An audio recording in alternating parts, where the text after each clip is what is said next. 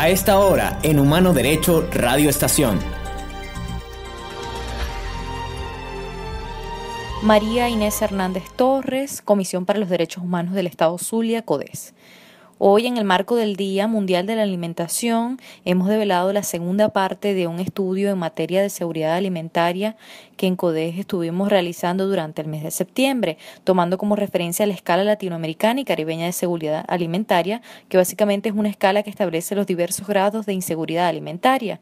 De ellos, el grado más leve es donde se empieza a evidenciar la preocupación de las personas por el acceso a los alimentos.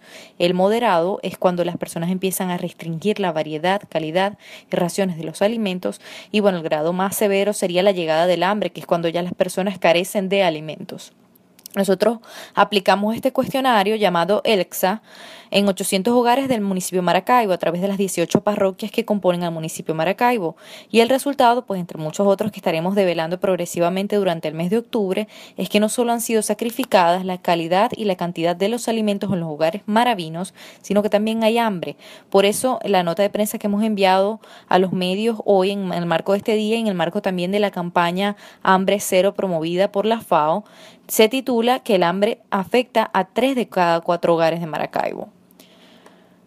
Algunos de los resultados más, más destacados fueron que el 54% de los hogares maravinos informaron que los adultos comieron una vez al día en los últimos tres meses, el 39,1% comieron dos o más veces al día, y en 6,9% de los hogares maravinos dejaron de comer durante todo un día. Los estratos de IE son los que más reportaron con haber comido una vez al día. Y además es muy importante señalar que los niños no escaparon a esta grave crisis, pero de alguna manera ciertamente han sido protegidos por sus padres. Por eso en 62,9% de los hogares se respondió que los niños comieron dos más veces al día, mientras que en el 29,6% solo comieron una vez al día y en el 7,5% dejaron de comer durante todo el día.